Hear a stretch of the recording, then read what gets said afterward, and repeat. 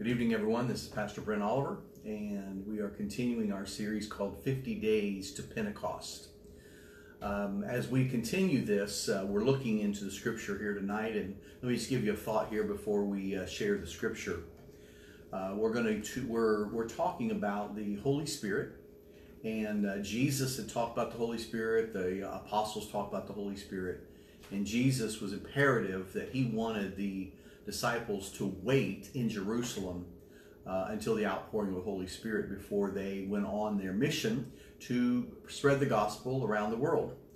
Um, concerning the Holy Spirit, when the Holy Spirit came in Acts chapter 2, uh, in earlier days, we've seen that what happened was that the Holy Spirit was poured out and they all spoke in other tongues as the Spirit enabled them according to the scriptures. There are those that teach today that with the baptism in the Holy Spirit, with the initial, initial physical evidence of speaking in other tongues, there are those that teach that it's not for today.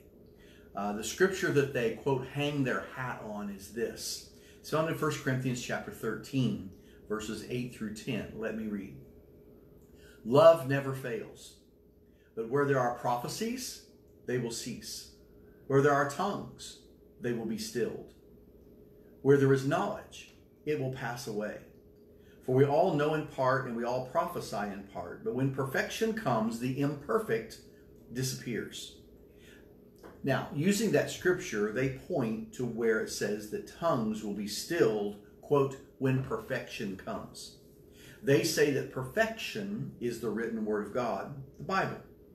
Therefore, we no longer need tongues because we have the scriptures. However, to me, it seems like this uh, interpretation really does not make sense. Here's why. Nowhere do we find it saying in the scriptures that the scriptures will cause the fading away of the Holy Spirit's activities through the believers on the earth. In fact, it wasn't until Jesus ascended into heaven the Holy Spirit came. And he said that the Holy Spirit would be with us until the end of the age.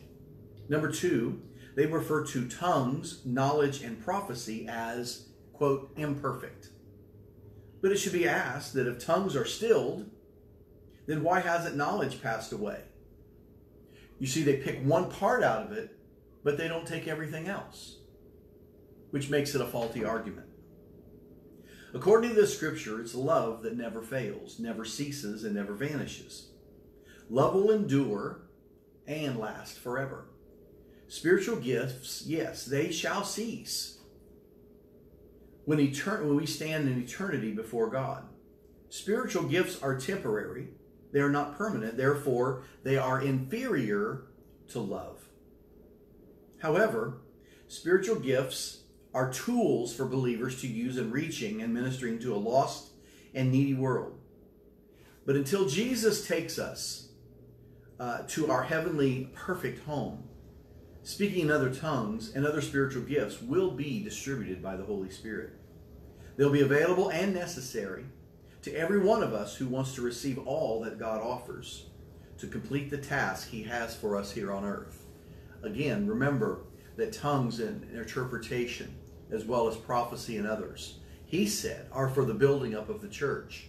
Why would He then take away that which is building up the church? Again, the arguments don't make sense. Uh, tongues is here until Jesus comes and takes us home. And it's uh, we've talked about the benefits of that. We wanted to just share this today that yes, the baptism of the Holy Spirit with the evidence of speaking in other tongues. And tongues as an as a way for us to express our prayers as well as our worship unto the Lord is all valid for today. Let's pray. Father, again, your word brings clarity as we look into all of it. We thank you for that. Lord, uh, bless each and every one today uh, with your spirit, Lord, to lead, to guide, and to empower for service. We give you thanks for that in Jesus' name. Amen. Well, I hope you've had a blessed Sunday. Thank you for joining me. And we look forward to seeing you again tomorrow on our daily devotions 50 days to Pentecost. God bless you now.